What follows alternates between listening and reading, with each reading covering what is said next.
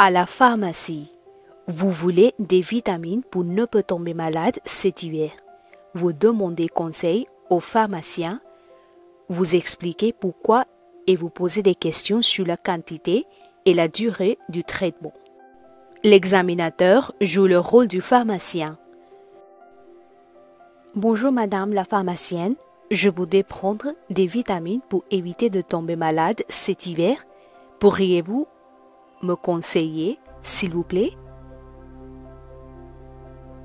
Bonjour, bien sûr, je serai ravi de vous aider.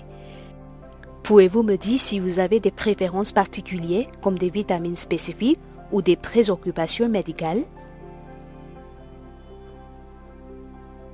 Je n'ai pas de préférence particulière, mais je tente souvent parler de la vitamine C. Est efficace pour renforcer le système immunitaire? Oui, la vitamine C est en effet connue pour soutenir le système immunitaire. Nous avons plusieurs options. Des comprimés ou comprimés effervescents. Laquelle préfériez-vous Je pense que les comprimés effervescents pourraient être plus faciles à prendre.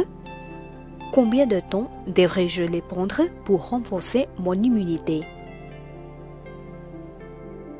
En général, il est recommandé de prendre des vitamines pendant la saison hivernale, mais cela dépend aussi de votre régime alimentaire.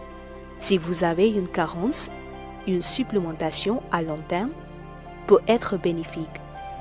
Je suggérerais de les prendre pendant au moins trois mois. D'accord. Et quelle quantité quotidienne me recommandez-vous?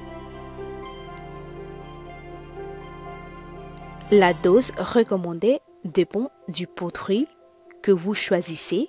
En général, pour la vitamine C, une dose quotidienne entre 500 et 1000 mg est courante. Cependant, je vous conseille de suivre les instructions spécifiques sur l'emballage. Parfait, merci beaucoup pour vos conseils. Je vais prendre les comprimés effervescents de vitamine C et les suivre comme recommandé. C'est un choix judicieux. N'hésitez pas à revenir si vous avez d'autres questions. Passez une bonne journée.